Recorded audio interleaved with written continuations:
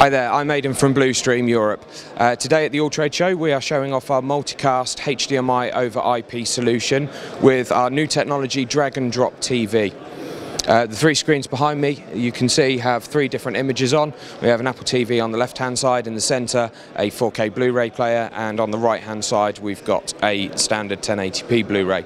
Uh, all the screens that you can see are 1080p screens. However, you will notice if you can see the uh, status on the centre screen that it is a 4K Blu-ray on there. With our drag and drop TV, that you can see on the iPad next to me, we can simply pick up a source and drag it to a screen. I'll demonstrate that now.